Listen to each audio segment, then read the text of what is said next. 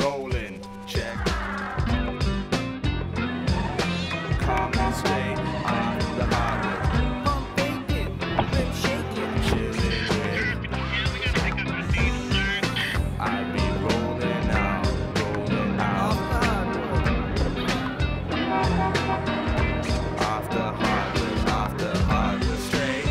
This week on Off the Hardwood, Toronto Raptors forward Tracy Murray and Paul Jones visit the Royal Ontario Museum, where they check out the new dinosaur exhibit, talk hoops, and hang out with some Raptors fans. Tracy Murray over the big C.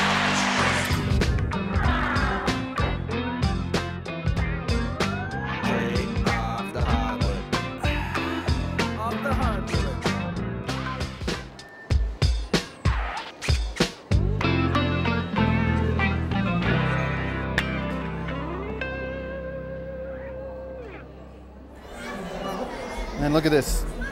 Tyrannosaurus bataar. That's Latin, I think. 70 to 72 million years ago, man. I'm crying about 30 years, and it's 70 to 72 million years ago. This looks like a raptor. Close to it? What do you think? Close to it, probably a little bit bigger. I hear raptors get to about six feet, six, maybe six and a half feet tall. This man not only plays for the Raptors, he knows all the information about the real Raptors. Well, I'm a big Jurassic Park fan, man. I have all three of them, so I, I love. Um, I have a fascination of animals. I watch a lot of Animal Planet and stuff like that, and then, you know, the Jurassic Parks. I was very interested in dinosaurs too, just to learn a little bit more about them. It's, it's cool. Hits back rim. Peterson with the follow. To Murray. Got it. Dial M for Murray. Well, Murray starting to heat up. The league, nine years for you, many accomplishments. But what some people may not know is you own a championship ring. Yeah, right before I came to Houston, right before I came to Toronto, uh, I was with the Houston Rockets with the Dream, and uh, he carried us, literally carried us to a second championship.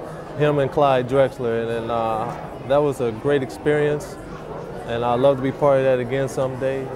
That, that was uh, an experience that no one can describe. You, you told me that last year that when the team was making a move into the playoffs, that that the feeling of having a ring was something that was difficult to describe. How close is this team this year to that? Well, once we, you know, when you have a guy like Dream that's been there and that's been in the wars and, and that has two of them. I have one, but mine was more or less watching.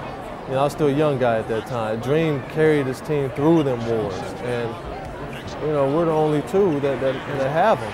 And we have a lot of guys with, like Antonio and Chris Childs, with playoff experience, and, and those guys are still hungry to get a ring. So when you have that type of experience with them guys, with them veterans, and, and, and uh, we can all put it together and, just with the mixture of the young guys, young talented guys like Vincent Mo Pete, and we, we have all the tools here, and with, with Coach Wilkens and everybody, we have all the tools here to be a championship team. Right now, we've been struggling with injuries. Mo Pete's down right now. I mean, that plays a big factor in winning a championship. Everybody has to be healthy. The team has to be running on all cylinders when that playoff time comes. You have to be playing your best basketball. You can't wait for anybody to recover from an injury or stuff like that. I mean, you have to be running on all cylinders, everybody healthy. You guys had great chemistry in that first year as somebody who was traveling with the team a lot. You would come to the back of the plane, the area where we called the, hood, hood. because because the media were not allowed to go to the front of the plane. So yourself, Tony Massenberg, Eddie Pinckney, people like that. Are you still in touch with some of those guys? Oh yeah, we see. I see Eddie whenever we go down to uh, Miami. Of course, he's doing the, the, the TV and radio for Miami Heat. Um, I see um, Tony Massenberg whenever we play him. Of course, we see Damon. Um, there's Carlos Rogers. He's still in the league. So I, I see them guys. Um, Alvin Robertson, I, I, I, see him whenever we go to San Antonio. I leave him tickets to come to the game and talk to him for a minute. And so it's good seeing them guys. And, and uh, those who I haven't seen, I, I hope to see soon because we have a special bond. A special bond being the first team. And what did you learn from some of those veterans? Alvin Robertson, uh, Brendan Malone, who was a longtime assistant, got his first head coaching gig. What did you learn from those guys? I'll tell you one thing. One thing I learned, the most I've learned was from Alvin Robertson. You sit there, you watch this guy, he come off of a couple years off because of his back, and he was out there playing harder than anybody. And he Compete was his he- word, right? Yeah, he competed his behind off. He was the oldest player on the team and competing like the youngest. And he would run, he would play hard for 48 minutes. That team saw what Alvin was doing out there.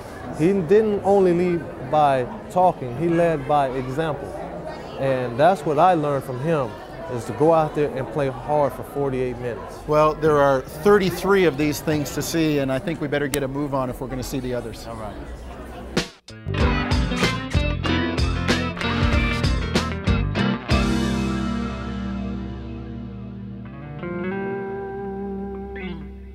You had an injury when you were a kid that many people don't know about. I see you dunking, and the footwork that you use is conventional for a left handed layup.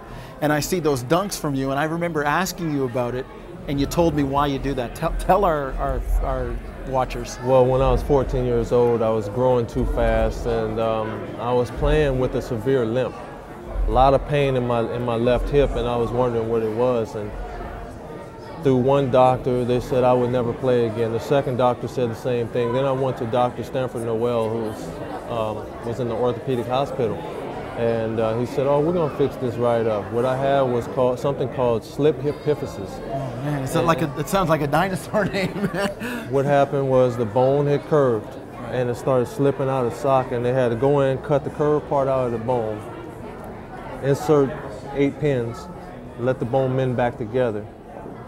And that's that's how things was completed. It was a, I was out for the, my whole freshman year. California's all-time leading scorer, and I missed my freshman year. so there could have been way more points. Right after I made varsity, man. I made varsity with a limp, and then I had to sit out. Obviously successful, so people will know now when they see that dunk from Tracy Murray, that two-handed dunk that we see with the left-handed footwork, they'll know why it comes about. We got more to see of the exhibit. Let's get going. All right.